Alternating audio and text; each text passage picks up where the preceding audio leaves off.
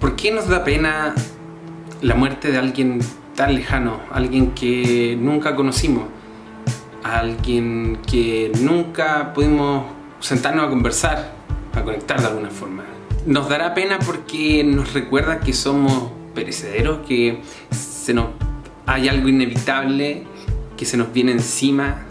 Tal vez sentamos que con este tipo de noticias nos queda menos tiempo. ¿Será porque estas personas materializan la esperanza, las expectativas que tiene uno de uno mismo, pero que nunca llega a materializar tal y como estas personas? Tal vez no siendo rockstar, tal vez no haciendo grandes obras, sino que viviendo con una convicción que traspasa cualquier que ser. ¿Será que nos da pena que vemos en ellas la posibilidad de nosotros vivir de esa manera? Tal vez por eso decimos que, que este talento en realidad no es terrenal, viene de otro lado, viene de otro planeta. No puede ser que una persona nacida en la Tierra, que sea igual que yo, que sangre, que muera, que tenga las mismas debilidades que yo, logre sobreponerse a eso y, y trascender. ¿Será que ellos se atrevieron a no importarles las pequeñas diferencias que a muchos sí nos importa, que vivieron con una mentalidad curiosa, sin prejuicios y con unas ganas de hacer y una disciplina para llevarlo a cabo que pareciera ser de otro planeta? Bowie en su obra se separaba de sí mismo creando estos personajes. Tal vez por eso logró ser esta persona muy, muy aterrizada, con una humildad tremenda, con un humor fantástico y una persona que estaba tan, tan en paz consigo mismo, con sus debilidades, con sus virtudes, que hizo de su muerte la más preciosa obra de arte que, que algún artista nos podría regalar. ¿Por qué nos da pena? ¿Será porque para Bowie vivir una vida de miseria era vivir una vida llena de miedos?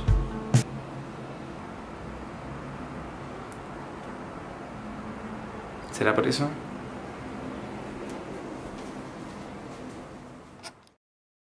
Ya, estoy saliendo en una misión especial. Tengo que acompañar a mi sobrina a matricularse ya aquí quedó en la universidad, así que estoy súper orgulloso.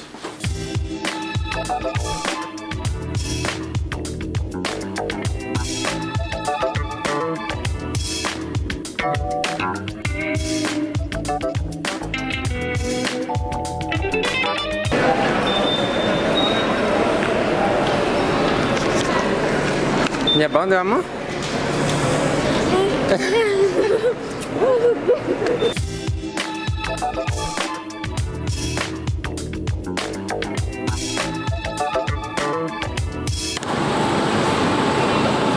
Ya estoy acompañando a mi sobrina porque se va a ir a, a matricular a su nueva universidad. Estoy orgulloso. Gracias. Bienvenida, bienvenida. Ay. Ah. Puta que estamos babosos. Mírenla. Estamos así.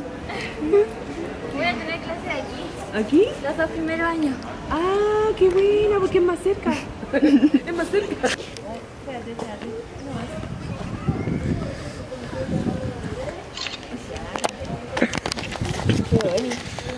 madres avergonzando a sus hijas desde el año 1.